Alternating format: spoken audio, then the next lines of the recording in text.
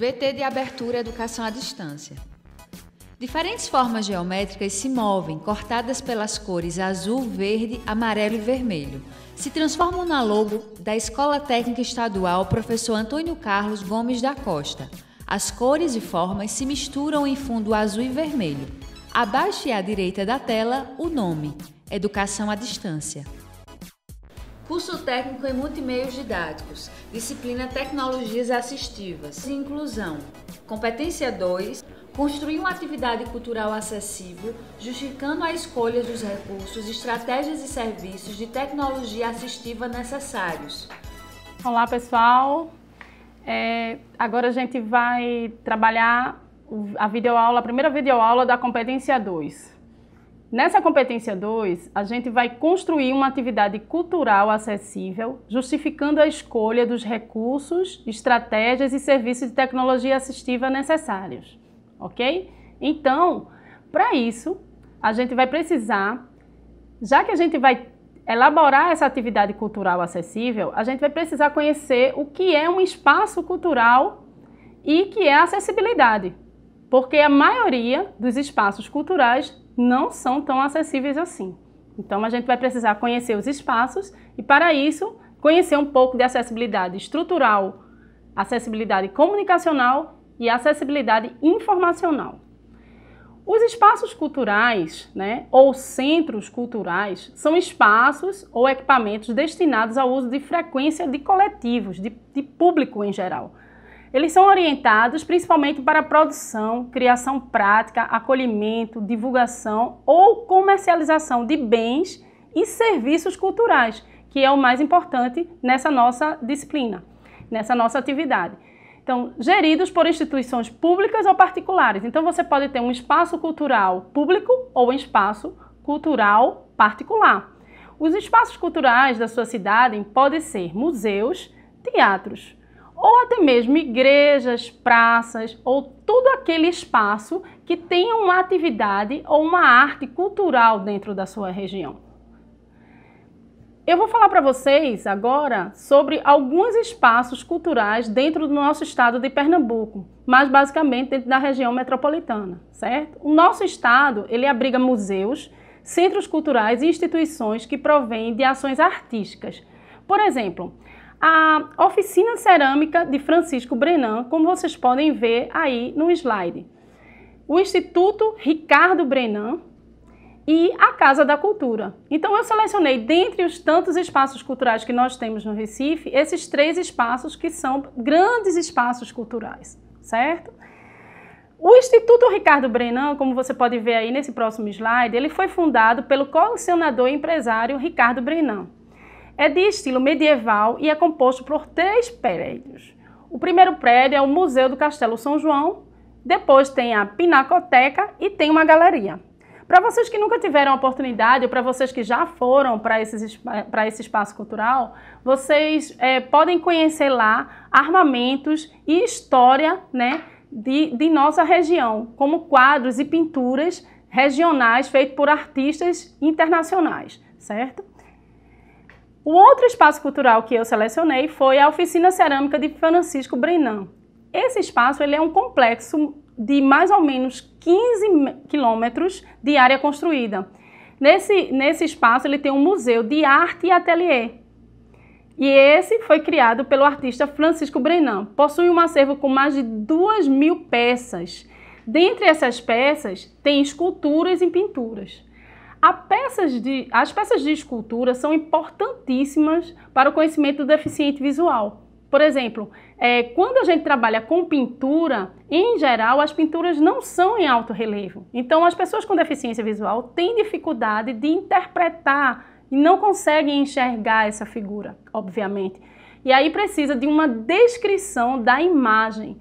E essa parte da descrição da imagem, em geral, não é colocada junto à, à obra mas é importante que a gente identifique isso. Obras, as obras elas precisam ter ao lado placas em braille identificando a obra e também placas de descrição da imagem. O que seria a descrição da imagem? Você falar dos aspectos mais relevantes dessa imagem. Já as esculturas, elas por si só, né, a gente toca as esculturas, a gente consegue, pode até fechar os olhos para perceber melhor as esculturas. Como a gente é muito visual, em geral, a gente não toca nas esculturas, até porque em alguns museus não tem essa acessibilidade de toque das esculturas. Além da, da, Casa da Cultura, que é um espaço que é conhecido como um espaço de prisão, né, que antigamente era um, é, era um presídio lá, e aí foi colocado, foi é, trabalhado e melhorado para colocar artesanatos, tem muitos artesãos, panos, obras, várias coisas lá mas a gente precisa ficar muito atento à Casa da Cultura, porque, em geral, as escadas não são, eh, são escadas estreitas, mas tem elevadores que a gente pode acessar para levar as pessoas lá. Outro, eu coloquei outros espaços aqui, como o Museu do Homem do Nordeste, né, que está vinculado à Fundação Joaquim Nabuco, e é um museu antropológico que reúne acervo com cerca de mais de 15 mil peças. O museu antropológico ele fala das características de um povo, né, da época daquela, daquela região. E conta com a sala de projeção de um cinema, onde são exibidos filmes alternativos, cuja exibição não chega a, é, nas grandes salas. Ou seja, a gente tem grandes salas de cinema aqui no estado, mas algumas exibições dessas salas são é, é, alguns filmes, como curta-metragem, são exibidos nesse museu também. Mas a gente precisa estar atento nas questões do cinema em relação ao seguinte: quando a gente tem um filme que a gente visualiza e escuta o áudio, existem é, três áreas de acessibilidade em geral, que é a Libras, que é você falando e a pessoa interpretando em linguagem de sinais, é a legenda, que é a fala do autor ou dos personagens, e lá tem a legenda da fala, que pode ser na própria língua ou em outras línguas, mas existe também uma outra parte da acessibilidade chamada de audiodescrição, que é uma voz que fica com um som mais baixo e uma diferenciada descrevendo as imagens que passam no filme. Em alguns locais aqui do Recife, a gente já tem essas curtas metragens e alguns longas, mas são poucos ainda, com a questão da audiodescrição. E essa audiodescrição é feita no momento da exibição do filme, certo? São coisas para a gente ir aprendendo um pouco sobre mais sobre tecnologia assistiva nos espaços culturais. O Museu do Estado de Pernambuco ele foi criado em 28, 1928 e ele possui um acervo com cerca de mais 12 mil itens abrangendo áreas de arte, antropologia, história e etnografia. Então, nós temos também é, atualmente o Cais Sertão, que é um museu interativo e de objetos considerado o mais moderno equipamento cultural do país, que foi eleito o, o 18º melhor museu da América do Sul pelos usuários do site das viagens a Trip Division. Então, assim, esse site, ele é, elencou esse museu como um dos melhores.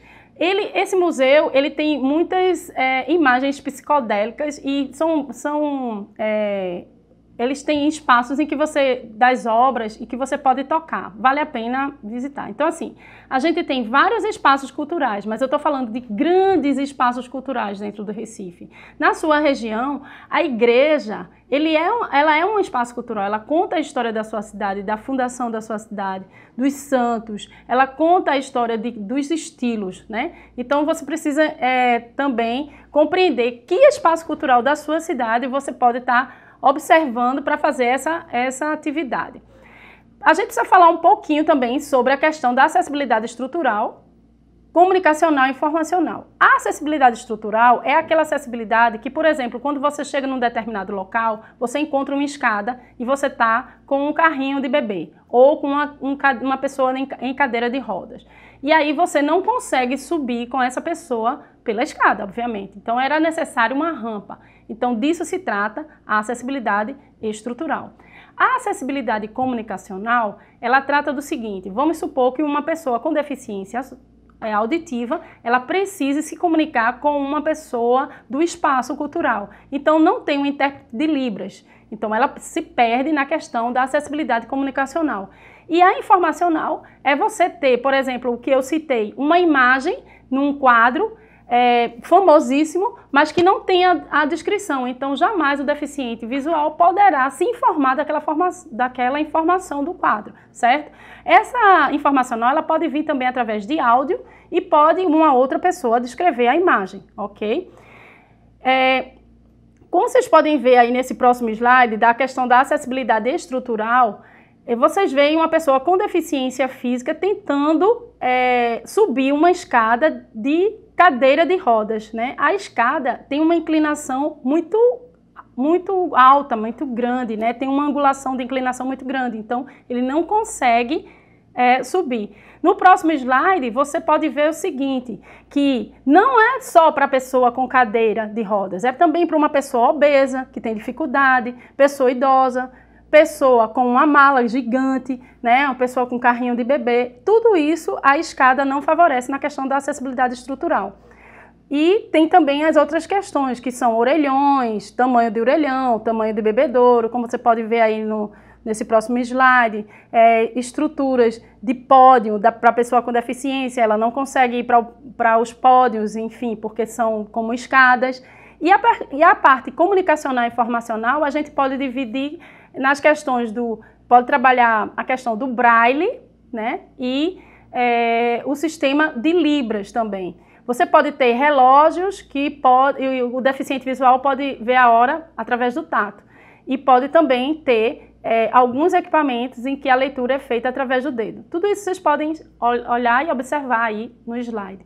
Essa foi a nossa primeira videoaula da Competência 2. Eu agradeço a vocês. Um abraço. Som direto. Luiz Vitor. Imagens. Leandro Silva. Interpretação de Libras. Davidson da Silva.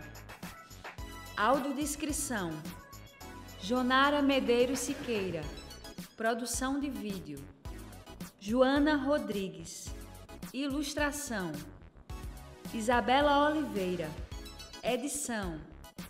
Guilherme Cabral, Danilo Albuquerque, professor autor Cristiane Melo, design educacional David Souza Nascimento, Maria de Fátima Duarte Angeiras, Renata Marques de Otero, Terezinha Mônica Sinício Beltrão.